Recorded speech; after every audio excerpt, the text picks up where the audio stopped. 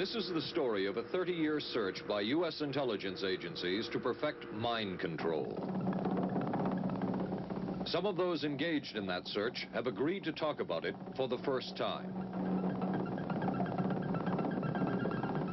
One said, I think every last one of us felt sorry to attempt this kind of thing. We knew we were crossing the line. The search would be endless. From brothels, an agent says, we learned a lot about human nature in the bedroom to the mystical rites of a magical mushroom ceremony performed by an Indian shaman, to a Spanish bull ring. The bull has had electrodes implanted in the brain and is controlled by a scientist. There would be victims. Oh, just...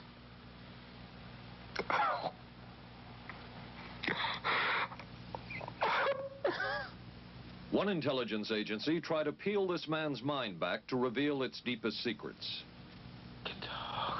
I'll through it. I'll live through it. This man worked on some of these programs. He would write of his work, it was fun, fun, fun. This is the story of the search for mind control.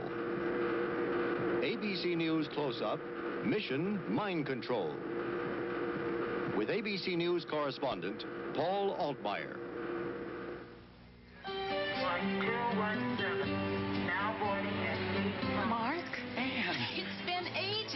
ages. can I buy you? Allow me. Two Michelob Lights. Michelob makes a light beer? Perfect. The good taste of Michelob Light. Don't just compare it to other light beers. Compare it to your regular beer. It's that good. You always did go first class. Your ticket to San Francisco. Thank you. San Francisco? You too? Good taste runs in the family. Mrs. Cooper, I need help. Oh. With all these different dog foods, I don't know what kind to feed him. Dry, soft. Honey, it's not the form, it's the formula. Those are for any dog, young, old, whatever. But Cycle 2 dog food is especially for dogs ages 1 to 7, like mine. The Cycle 2 formula has just what dogs in their active years need to help stay healthy. And happy. With Cycle, I know what to feed him. Now get Cycle 2 in 25-pound bags. We are not professing to tell you the complete story of these activities. We are professing to tell you the complete story that we know. But these records that we've uncovered don't tell the story. They tell pieces of it. This is a story that has been told in bits and pieces. This is an attempt to pull most of it together. We know we don't have the full story. We do, however, have some striking new revelations and insights.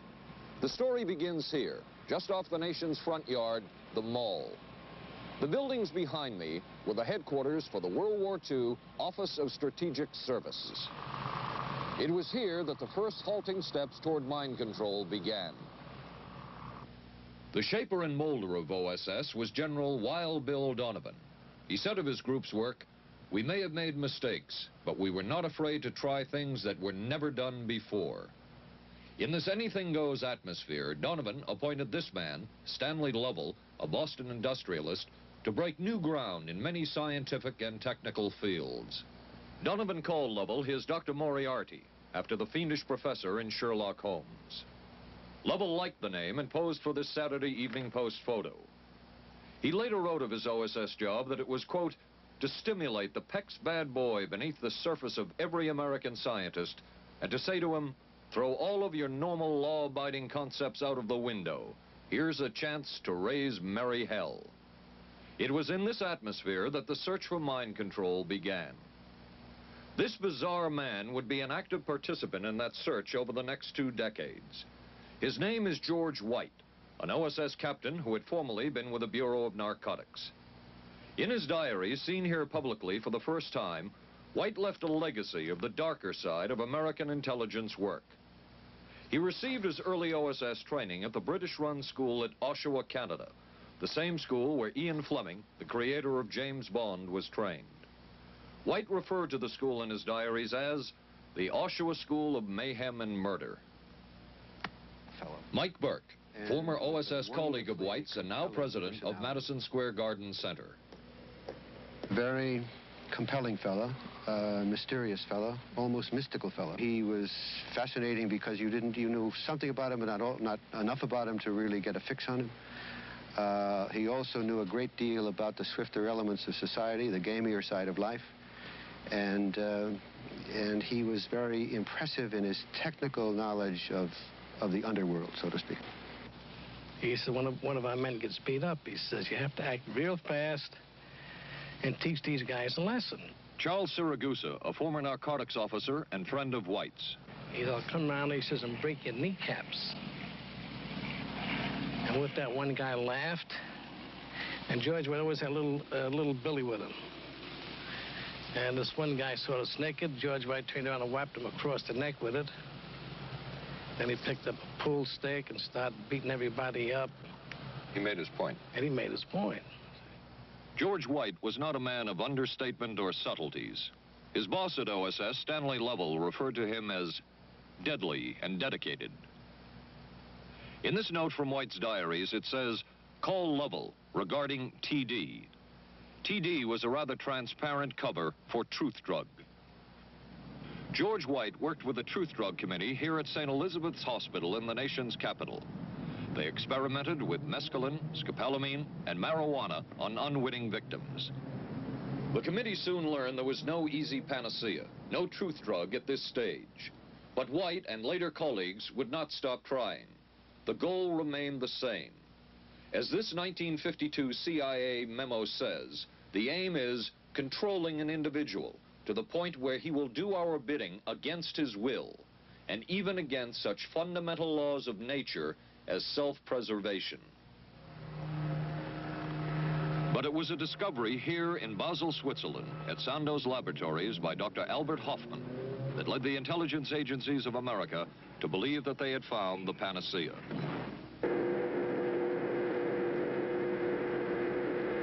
The discovery was lysergic acid diethylamide, LSD. The film that you see is considered by many experts to be the closest illustration of the effects of a hallucinogenic. It was one of the first times that anybody had run into a powerful drug that was different than anything else that they knew anything about. John Gittinger, recently retired chief psychologist for the CIA. This is the first time Gittinger has been interviewed publicly. We could disable a whole city by putting a very small amount on a water supply. After all of these years of us, uh, uh, those of us who are involved in looking for this secret drug, uh, this was the only thing that began to look for the first time like it might be something like that. CIA's interest in LSD was intense. The worry was that the Russians would get hold of it. Were the Soviets into LSD? I'm going to have to say uh, I'm sure they were, but if you ask me to prove it, I, I've never seen any direct proof of it. But at one point, intelligence information received from Switzerland said that Sandoz Laboratories was about to put 100 million doses of LSD on the open market. And it caused enough concern within the agency that the United States was prepared to buy the entire supply. However, a slight mistake had been made. The mistake is made public for the first time. I just found out on a new CIA document that there were no such um, large quantities of LSD on the market. John Marks has filed numerous Freedom of Information suits against the CIA and has unearthed much new material. He is the author of The Search for the Manchurian Candidate, a history of intelligence agency work with mind control. He is a consultant for this report. What happened is that there was a military attache in Switzerland, an American officer, who got milligrams and kilograms mixed up. In other words, he made a mistake of thinking one one-thousandth of a gram was the same as 1,000 grams, which is a mistake of a million times. So when the CIA got the intelligence that there were 100 million doses on the market, in fact, there were 100 doses.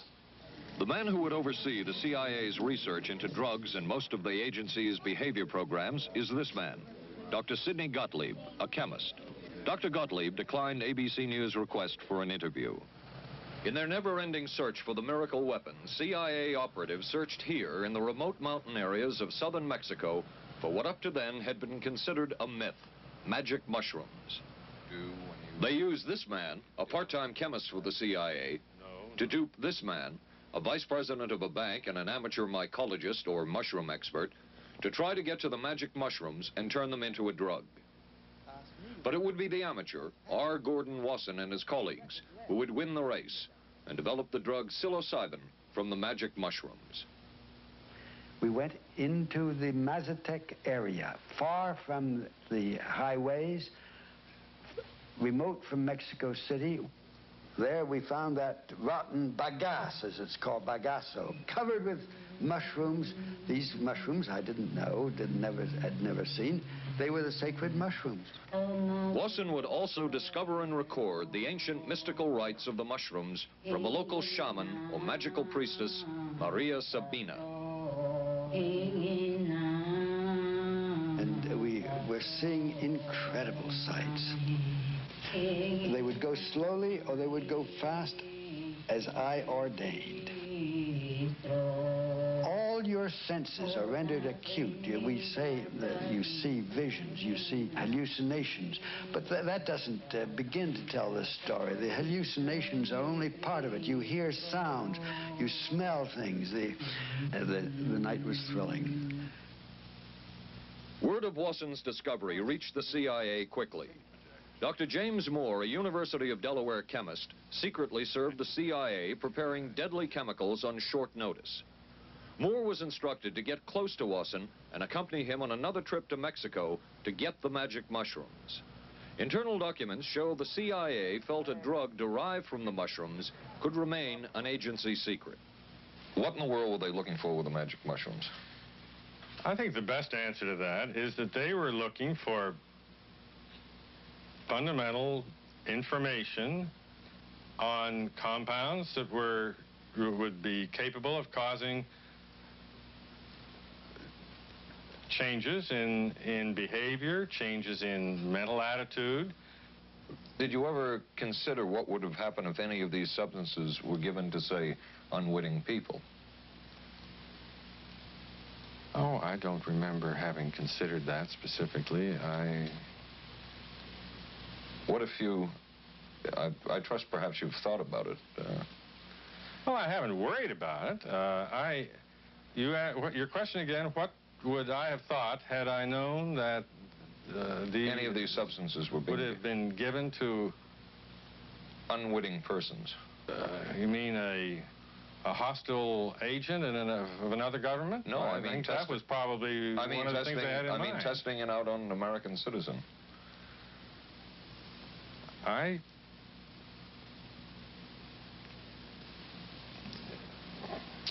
I guess I must seem very, very cold-blooded about this, but I don't recall ever having been very much preoccupied with that uh, with that issue. But many drugs were tested in this way. A decision was made at the highest levels of the CIA to do testing on unwitting Americans. As one CIA document says, such testing would be operationally realistic. A former CIA official who worked on these programs describes for the first time how the decision was made. He did not wish to be filmed or recorded. Thus his remarks are read by someone else. I think every last one of us felt sorry to attempt this kind of thing. We knew we were crossing the line. Every decent kid knows he shouldn't steal, but he does it sometimes. We knew damn well we didn't want anyone else to know what we were doing. The decision was made to do testing on unwitting victims.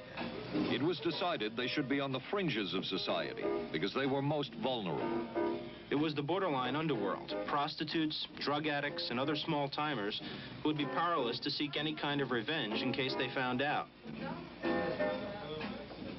And as their predecessors had a decade earlier, the CIA turned to George White for help. White was now a high-ranking narcotics official, and by this time the stories about George White were legendary. So the waiter says, you may help you, monsieur? And George White was busy talking with me. Paid no attention to the waiter, so the waiter tapped him on the shoulder, says, may I help you, uh, monsieur? George White turned around, whipped his gun out, and stuck it in the guy's face like this in this crowded restaurant.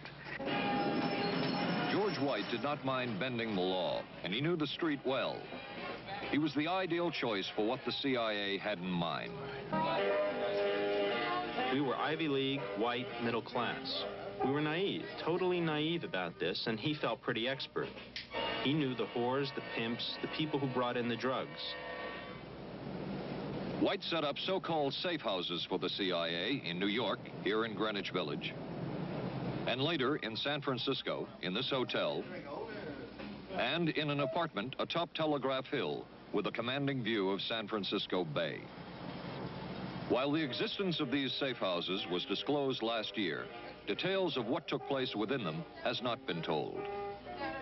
A former CIA official who worked in the safe houses reveals that they were used not only for drug testing, but to study sexual behavior and how it could be used to manipulate people. We did quite a study of prostitutes and their behavior. How do you take a woman who is willing to use her body to get money out of a guy to get him to talk about things which are much more important, like state secrets? We learned a lot about human nature in the bedroom. We started to pick up knowledge that could be used in operations. There would be victims in all of this, but as the agency knew, they couldn't fight back. Some entries from George White's diaries. Clarice gets horrors. Janet, sky high. As one agency memo says, we have no answer to the moral question. The safe houses were not the only testing grounds. Millions of dollars would be spent on LSD research at universities throughout the country. And word would begin to spread on campus about this so-called mind-blowing drug. And suddenly, there was the counterculture of the 60s. I give the CIA a total credit for sponsoring and initiating the entire consciousness movement, counterculture events of the 1960s. Dr. Timothy Leary, the 1960s Johnny Appleseed of LSD. The CIA funded and supported and uh, encouraged hundreds of young psychiatrists to experiment with this drug. The fallout from that was that the young psychologists began taking it themselves, discovering that it was an intelligence enhancing, consciousness raising experience. I know that some of the studies in which the CIA had uh, supported used as subjects people who later became strong proselytizers of LSD. So, you know, in that sense, yes, I think it did sustain the uh, uh, the uh, perpetuation of, of, the of the use of the drug. And it's rather ironic, isn't it? The counter case that I would make in relationship to that is to remember that the people who were doing the research were people who would be doing the research regardless of who uh, uh, was the sponsor. I, do, I don't think anybody working in that time in the remotest ever thought that it would blow up into the kind of thing that it did.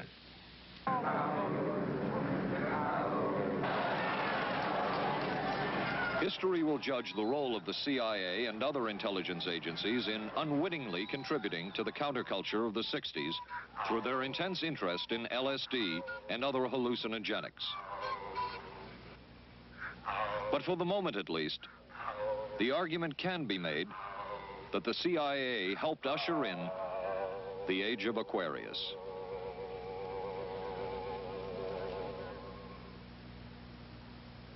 ABC News Close-Up will continue in a moment. Being careful about my body doesn't just mean major things like regular breast exams. I'm even careful about pain relievers.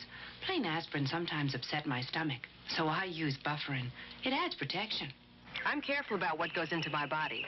Bufferin gives me an added relief action I want. Tylenol doesn't. Only one leading tablet has both an added relief action in many cases that Tylenol never provides and protection ingredients. Bufferin. Now I'm careful to get both with Bufferin. Sink trap's clogged with grease. Use Crystal Drano. I'll pour in Liquid-Plumr. Don't.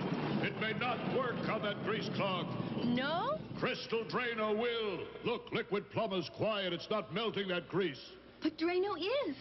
It broke through. Will Drano hurt metal pipes? No. So Liquid-Plumr didn't break that grease clog. I'm switching to Drano. To make clogs go, better use Drano. Saturday live on ABC. the Forest Hills Men's Invitational from the legendary West Side Tennis Club. Then live, third round coverage of the most prestigious ladies golf event. Hollis Stacy goes for her third straight U.S. Women's Open title. And red hot Nancy Lopez shoots for her elusive first Open victory. And on ABC's Wide World of Sports, rodeo excitement from the Wild West, plus high speeds, high thrills, hydroplane action, championship tennis, golf, and ABC's Wide World of Sports, Saturday.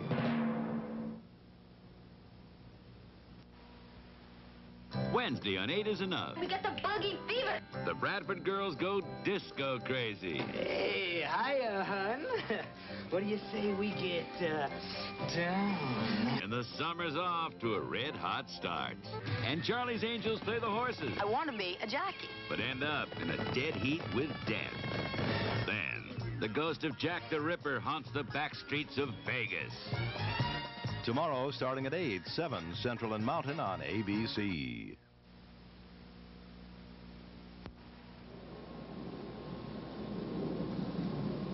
Covering a span of history such as we are in this report, one can get sidetracked by the so-called glamour and mystery of espionage work or by the exotic qualities of some drugs. But what you can't lose sight of is what all of this would mean in terms of individual human beings. There would be deaths, there would be long-lasting and harmful effects. The best known case is that of this man, Frank Olson, a chemist employed by the Army Chemical Corps who in 1953 was slipped LSD unknowingly at a meeting with CIA officials. Shortly after that, Olson went into severe depression. He ended his life at this New York hotel by diving through a shaded closed window in his 10th floor room. Frank Olson was the first known fatality in the CIA's LSD program. Olson left behind a widow Alice and three children, but it would be years before they learned the real story of his death. Shortly after his suicide, Alice Olson was visited by Dr. Sidney Gottlieb, the man who had administered the drug, and by Robert Lashbrook, his deputy, who was the last person with Frank Olson the night of his death. It was probably to check me out and see uh, whether I was handling myself and handling the situation, whether I was hysterical. And I'm sure they left the house feeling ever so much better because I had been uh, gracious and hospitable to them, so that I must have played right into their hand and made them feel fine. 23 years later, did you, how did you feel about that meeting? My anger was unbelievable at how I had been duped for this length of time, and the anguish which was unnecessary. Anyone who knew during all of those years never told Alice Olson the real story of her husband's death. She would discover it by accident more than two decades later. In essence, it was a 22-year-long cover-up. Lyman Kirkpatrick was Inspector General of the CIA at the time of Frank Olson's death. But had not the Olson case occurred within the secret confines of the CIA, would not this case have been a prosecutable case? Perhaps Definitely, I would think, very definitely prosecutable, and certainly from the point of view of the uh, of Mr. Olson, why it, it should probably have been actionable. Frank Olson's suicide slowed down the CIA's testing of LSD and other drugs, but only momentarily. The CIA was not the only government agency interested in the possibilities LSD and other drugs presented for mind control. The Army Chemical Corps first started working with the CIA and then branched off on its own. It too tested drugs on unwitting victims, and a death would result. The case of this man, Harold Blauer, a tennis pro, seen here with his daughter Elizabeth, is well known. In 1953, Blauer was a private patient at the New York State Psychiatric Institute. He was given five injections of a mescaline derivative that was being tested secretly for the Army Chemical Corps. With the fifth injection, Harold Blauer died. As with the Olson case, a 22-year cover-up followed, until finally the Army admitted the real details of Blauer's death. Since the initial news stories of Harold Blauer's death, close to 5,000 documents, previously classified, have been released by the Army and obtained by ABC News. They provide valuable insight into Army activities at the time of Blauer's death and where the Army went from there with their own drug testing program. From a previously classified deposition of Dr. James Cattell, who administered the mescaline derivative, on the purpose of the drug testing. to produce symptoms similar to those that you see in schizophrenia. On how much the patient knew about all this. We didn't delineate all the possibilities of what might happen because then you contaminate your experiment. Cattell then relates that he never even knew what drug he had given Harold Blauer because of the secrecy of the Army experiments. We didn't know whether it was dog piss. This was secret. This was a secret. We weren't in on it. We asked Blauer's daughter Elizabeth for her reaction. What? How can anybody react to that? I mean, that is so far from from what you'd expect from a human being. Never mind a doctor. Never mind a professional specialist who's supposed to care about people's minds. It's it's unbelievable. A suit filed by Elizabeth Barrett against the Army Chemical Corps is now pending in federal court. Other Army experiments continued on mental patients around the country. Work done at the Tulane Medical Center in New Orleans involved several drugs, hallucinogenics, and electrodes implanted in the brain. The chief researcher was Dr. Russell Monroe, now head of the psychiatry department at the University of Maryland. These are various progress reports written by Dr. Monroe and recently obtained by ABC News. From one of the progress reports, a report of a woman who had electrodes implanted in the brain and was then given LSD and other drugs. She became agitated, cried, lapsed into a trance-like state.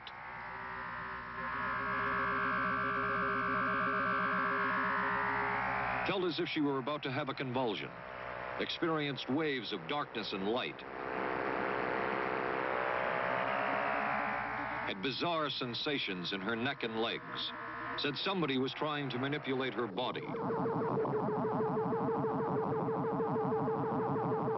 At this point, Dr. Monroe wrote that the woman was obviously having paranoid ideas.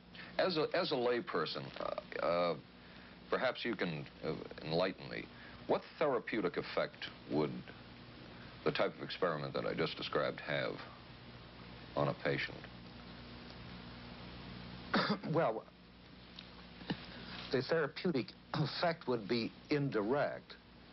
Was this patient aware that she was being given LSD? Yes, I mean, they, they uh, were told that they would be given some medication, uh, and they Specifically LSD? Uh, well, we told them, uh, I don't think that they would have even known what LSD was then at the time. They were told that they were going to give, they would be given some medications which might make them feel worse. Dr. Monroe, what, what do you think the Army Chemical Corps was looking for in all of this testing? They were looking for an incapacitating agent, uh, an agent that would not harm the person permanently, but would incapacitate them temporarily. That seemed like a, a humanistic way to, to wage a war, if war is necessary.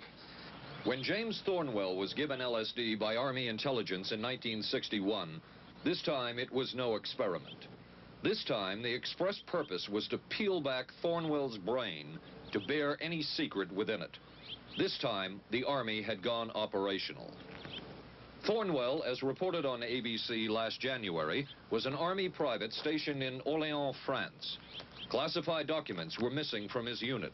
Thornwell became a suspect. His two and a half month interrogation included administration of sodium pentothal, hypnosis, isolation, and deprivation of sleep. Army documents obtained by ABC News refer to this interrogation as conventional. Despite the severe questioning, Army intelligence was getting nowhere with Thornwell, and it was decided to slip him LSD. For 16 years, Thornwell never knew what had hit him. Tell me about the acid. Uh, I'd rather not. Uh, it's a bad trip. It's a bad trip. That was a bad trip. The pain was so excruciating. Felt like somebody was sticking me with a million pins. You know, just everywhere. Oh, it just...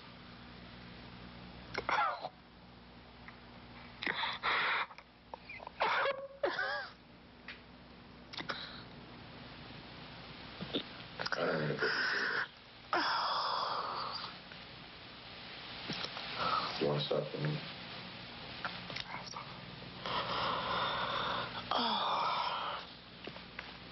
I walked around. Want to stop? No, I can talk. I'll live through it. I'll live through it. I'll live through it. No charges were ever brought by the Army against Thornwell. He was discharged for psychological disorders. But an Army psychiatric evaluation of Thornwell obtained by ABC News, one which was done prior to Thornwell having been given LSD, says of him, fairly cooperative, oriented, alert, and gave no evidence of psychosis or depression. From the Army's point of view, this type of LSD interrogation was a success. Other documents refer to the exploitability of interrogation subjects, cracking them, keeping them off balance mentally, and providing an economical, speedy, and productive aid to interrogation.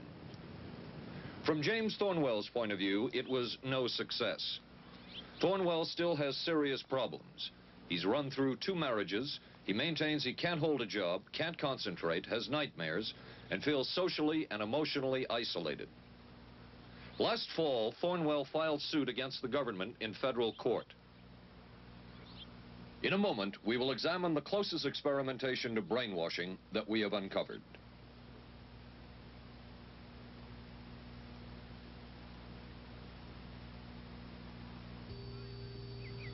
Oh, for crying out loud. Uh, something wrong, Will?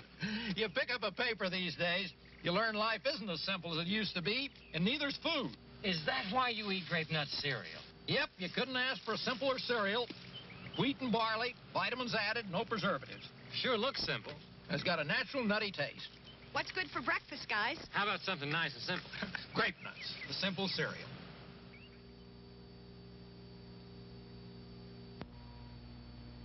Maxwell House is coffee you can count on. Maxwell House. Good to the last drop. Maxwell House is good every time. Maxwell House is good coffee. Good Maxwell House. Coffee you can count on. Always smells good, always tastes good, always good to the last drop. Maxwell House is good news. Good to the last drop. Maxwell House.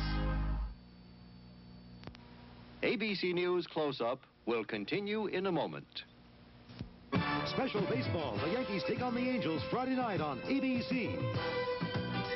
This is a heavy-duty stick-up, and this oh, is a good place for it. New heavy-duty stick-ups from Airwick for small places with big odors. This is David Shoemaker in the news at this hour. District police have charged a young Northeast woman with the weekend kidnapping of that day-old baby. Sources say the woman was pregnant and afraid she'd lost her own child in the accident, and that's what motivated the kidnapping. Twas the night before Skylab, and we'll have the latest on its fate and ours. Testimony before Congress today on battered wives. Some of the victims are battered wives. A rock and roll star put on probation for income tax evasion. The condition is he must put on a thousand hours of concerts for charities. And we'll be talking with a local teenager who won a gold medal at the Pan Am Games. Join us at 11. Reach for the sun. Hello, sunshine. Reach for the sun. Hello, sunshine. Hello, Mountain Dew. Nothing else tastes or feels quite like Mountain Dew or goes down as smooth like a soft breeze on a lazy afternoon. Reach for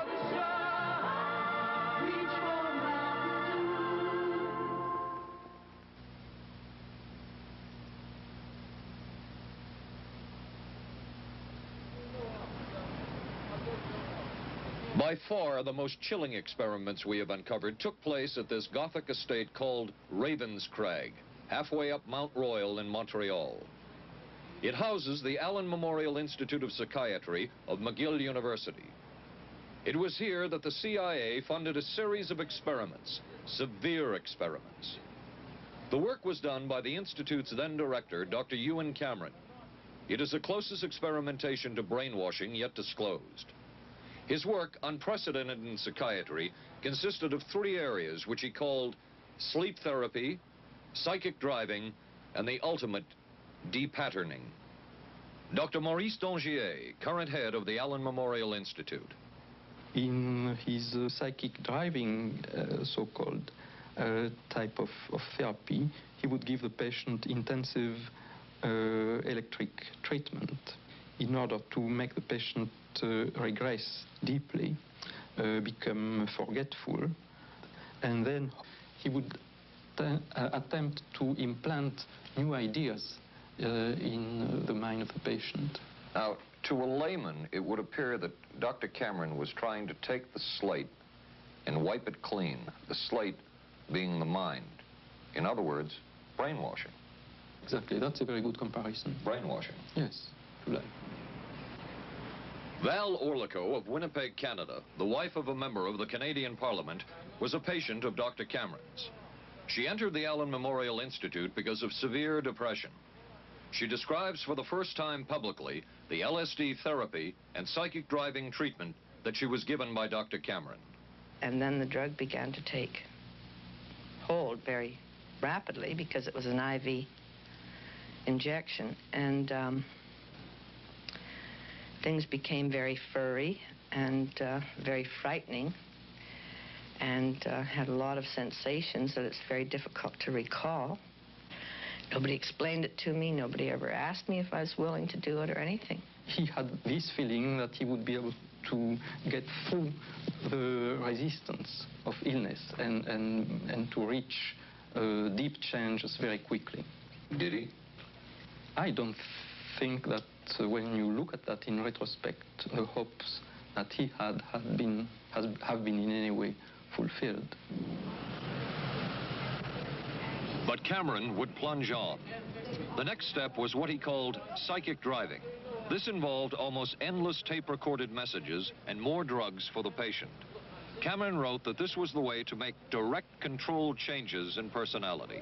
I thought this was the coldest and most impersonal treatment that anybody could give to anybody in the world. And I became more and more despondent and more and more angry. I just became so despondent that I thought I can't I can't live like this any longer.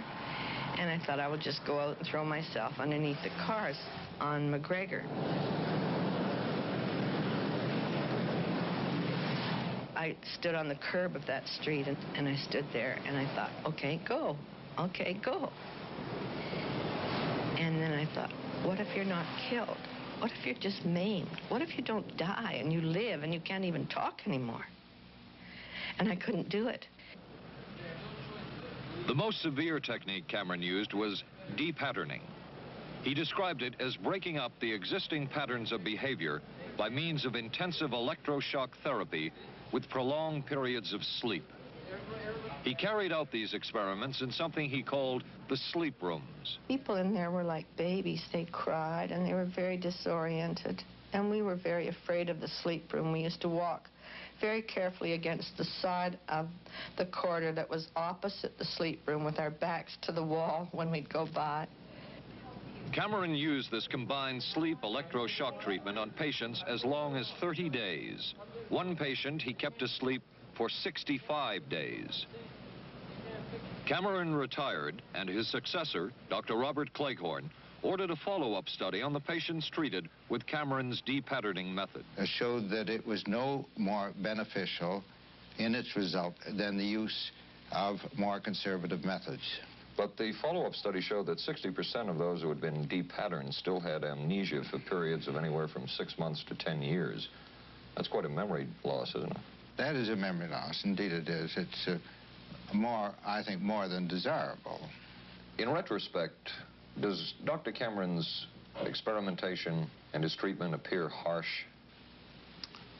Uh, I would say yes. I mean, uh, this forceful type of approach uh, that I was des describing to you uh, is definitely, it can be said that it's harsh. I wouldn't call it harsh. I would say it was harder on the staff than it was on the patients because these people had to be fed and they had to be cared for and they had to be uh, given sufficient fluid and food and toileted and so on and so forth. It was a, a very difficult uh, uh, thing for uh, the staff to uh, to uh, to follow these patients properly and see that they they did well. well, I'm glad he was concerned for the staff. But damn it all, I, I wouldn't. I, I, I could have maybe had a different kind of life. And that makes me angry and sad and I don't know what how to explain how I feel, really. I just I just How did you feel when you learned that Dr. Cameron's experimentation was financed by the CIA? well, I thought Oh, I can't even use the word that I thought because I thought that bastard and he was too smart. To, he knew. He knew who he was working for. And, um, excuse me, but um,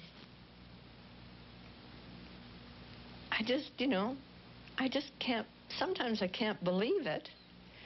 And yet I know it's true.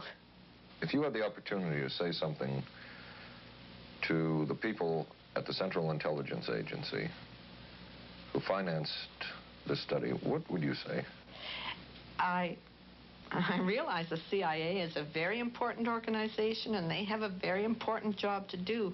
But God, it surely doesn't have to be done on people who are totally incapable of knowing what's happening or having any defense against it. And I, I, I can't imagine the mentality of people who would do this. I just can't. As for Dr. Cameron, he died in 1966 while mountain climbing. A colleague wrote of Cameron, for him the ends justified the means. And when one is dealing with the waste of human potential, it is easy to adopt this stance. Dr. Cameron seemed ideally suited for what the CIA had in mind.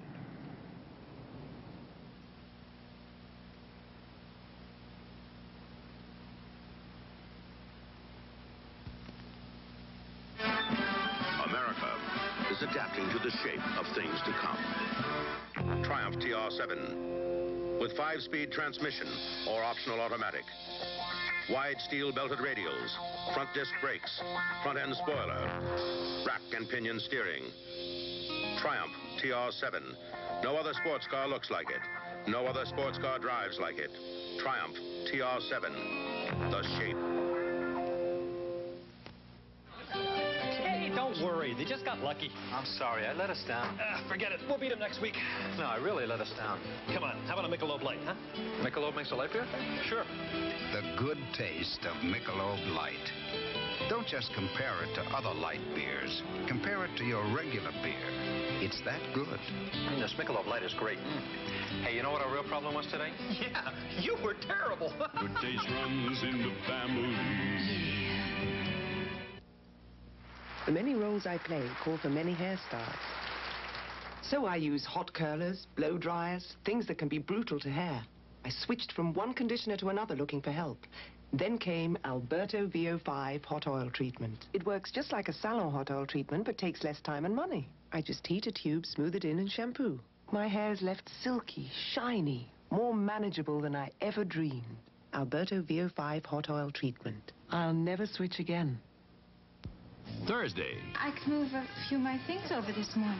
there's a scandal in the 12th when Wojo gets a roommate. Hi. In a Barney Miller special. I'm a prisoner of my biological urges. Sorry to hear that. Then, authorities say this Texas motorcycle gang murdered a federal judge.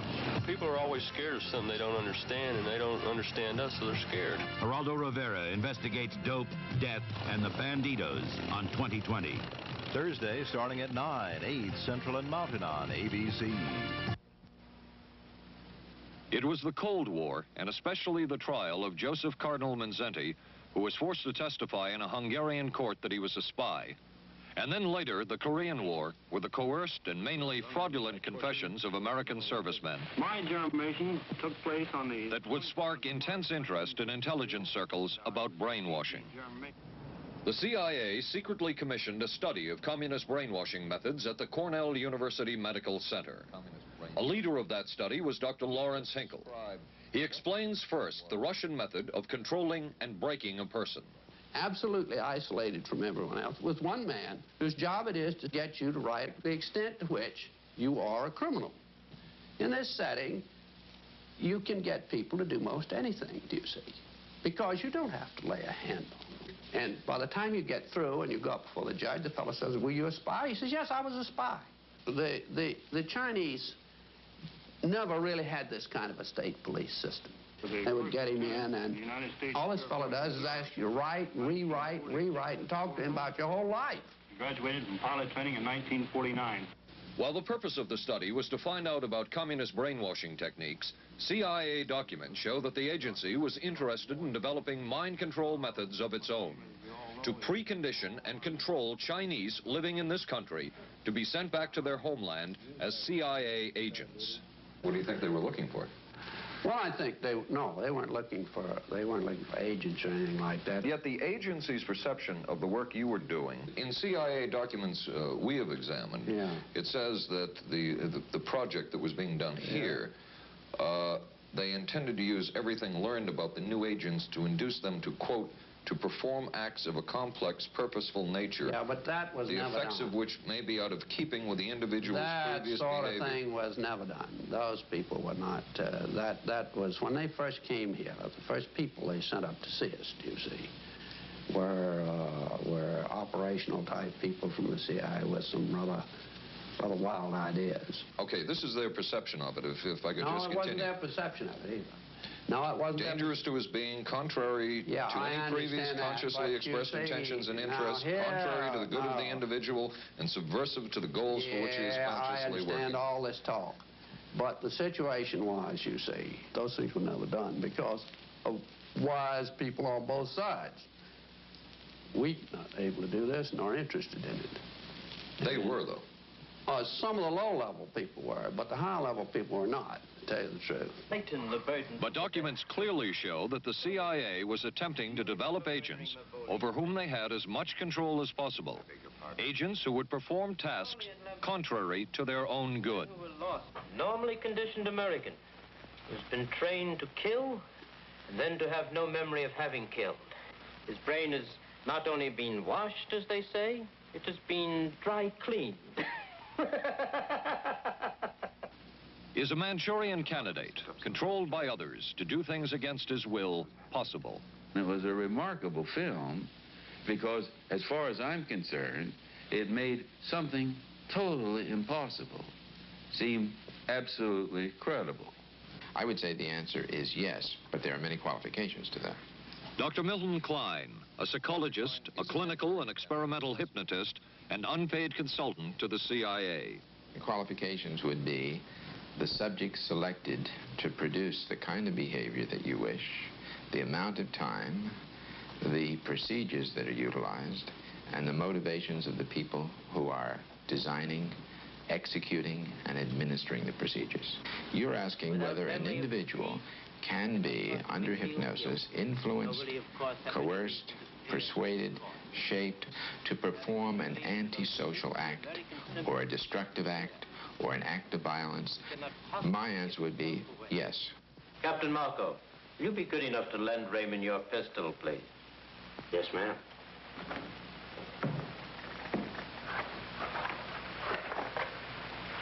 Thanks, Ben. Sure, kid. Shoot Bobby Raymond. Through the forehead. Yes, ma'am.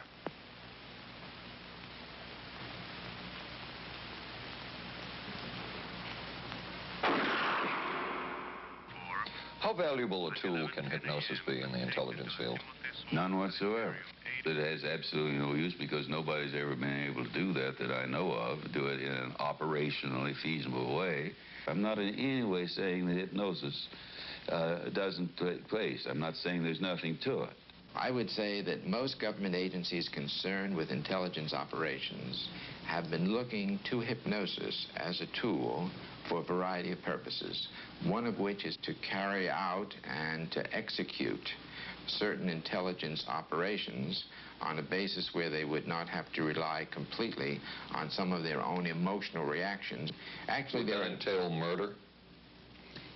It could if you consider that an act of killing someone under circumstances of war is murder. I think one has to define uh, what that means. Under circumstances of peace. Under circumstances of peace, it would be murder. Another former CIA agent says that Fidel Castro at one time was considered as a possible target for a Manchurian candidate. Castro was naturally our discussion point. Could you get somebody gung ho enough that they would go in and get him?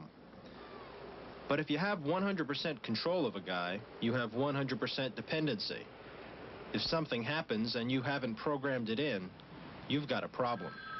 So in the end, it was decided that a Manchurian candidate was not feasible. But the search for mind control continued. But could the mind be controlled? Perhaps not. But is human behavior predictable?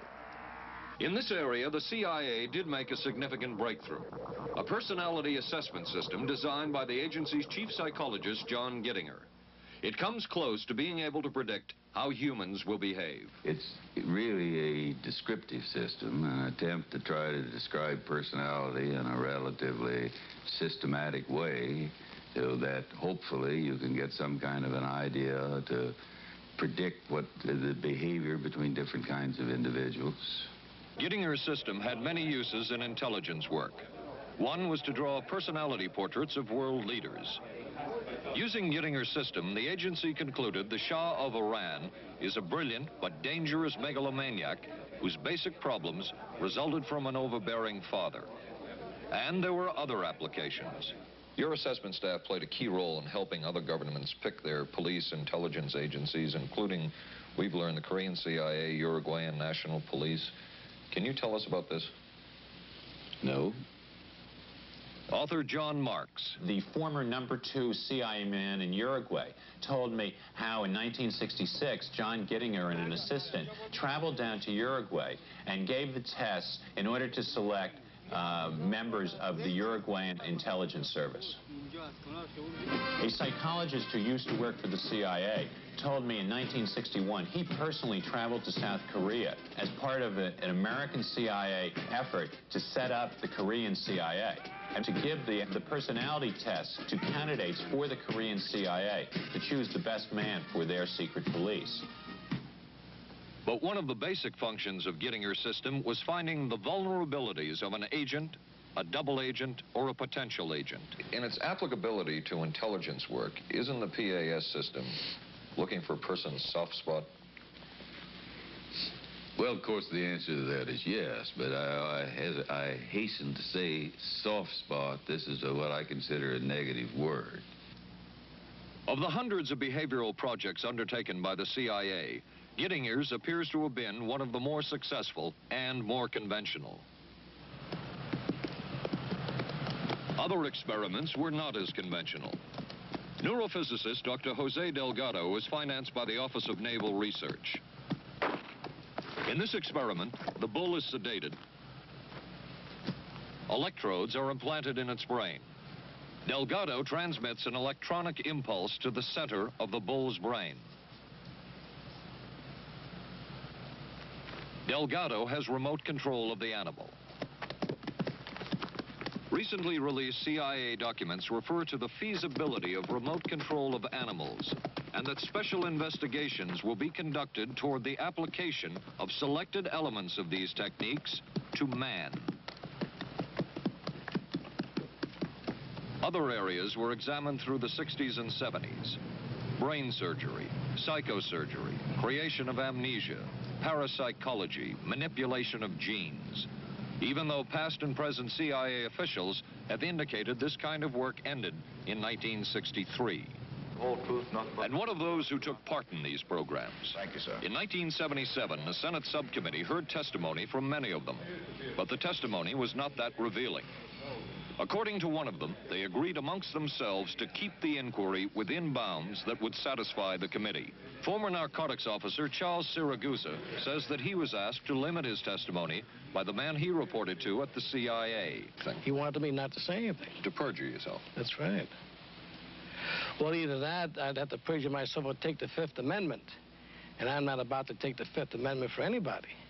Okay. Former CIA chemist Robert Lashbrook testified he had no first-hand knowledge of the agency-run safe houses when in fact he supervised one of them. There was very little... And according to George White's diaries, was at a safe house when White conducted what he called an LSD surprise experiment. Dr. Sidney Gottlieb, whom we recently filmed near his California home, oversaw many of the CIA behavioral programs.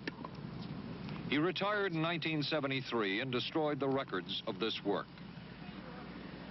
In sort of a valedictory letter, Dr. Gottlieb wrote that he and his colleagues had been able to maintain contact with the leading edge of developments in the field of biological and chemical control of human behavior. Dr. Gottlieb also testified before the Senate subcommittee, but from an anteroom where he could not be filmed because of what his lawyer termed health and cardiac problems. Dr. Gottlieb declined ABC News' request for an interview. And what of George White, the man who helped the agency in so many of its programs? He would retire here to Stinson Beach, California. And shortly before his death, he wrote to his boss at the CIA, Dr. Sidney Gottlieb, and summed up his career by saying, It was fun, fun, fun. Where else could a red-blooded American boy lie, kill, and cheat, steal, deceive, rape, and pillage with the sanction and blessing of the All-Highest? Has mind control been achieved? From all of the available evidence, it appears doubtful. The human will has prevailed up to this point. But as we have seen, work is continuing in this field. Work that we still don't know very much about. How deeply are the Russians and other dictatorships into all of this? We really can't say. And the CIA is reluctant to give out information about it. But the basic question remains, what place does all of this have within a democracy? One final point should be made. As one of the persons who worked on these programs told us, we are very capable, conscientious, and very dedicated scientists working for our country. Their work speaks for itself. This is Paul Altmeyer for ABC News. Good night. Here's a great idea. Potato peeler? Nope. Hair curler. It's Vanish Bowl Freshener. Freshness in a snap. Snap it under the rim and it freshens two ways. It's always there to freshen. Then, when water hits it, extra deodorizer and detergents are released, working best when and where you need it. When the bowl's fresh, the bathroom's fresher. Snappy idea. Vanish bulk freshener. Vanish for a cleaner bowl and a fresher bathroom. What do doctors recommend for pain today? This report shows doctors' number one choice is the pain reliever in Anacin.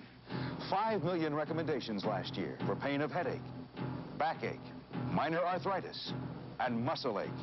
The ingredient in Anacin is the doctor's number one choice. Anacin is strong, a special combination of medical ingredients free of stomach upset for millions everywhere. The ingredient in Anacin, doctor's number one choice.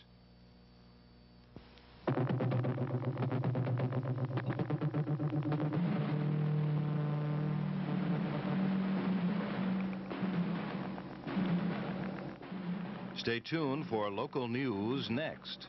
Then live from the Johnson Space Center in Houston, ABC News will track the approach of Skylab as it nears re-entry. Skylab, the final hours. Right after Twiggy and Dirk Benedict of Battlestar Galactica star in I Want Her Dead on the Tuesday Movie of the Week tonight on ABC.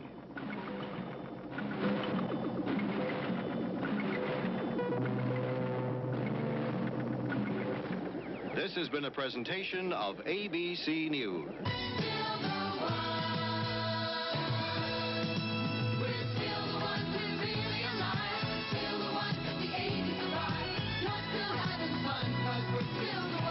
Still the one. ABC.